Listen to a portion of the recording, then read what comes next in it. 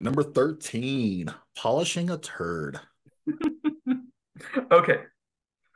Whew. Find a random dog turd in a public park or public place.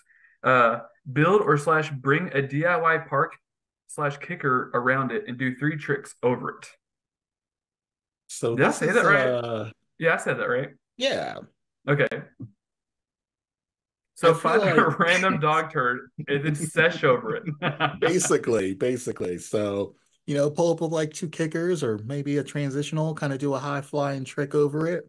Do it 3 Mhm. times, three different times. Three different times, yeah. Not three different times. We're making this out to be too crazy. Find one turd, do three different flip tricks over it, three different tricks over it. But if you wanted to find three different dog turds, that's fine too. Yeah, we can do either or. So you can do three turds, a trick over each turd, or one turd and three tricks over the same turd.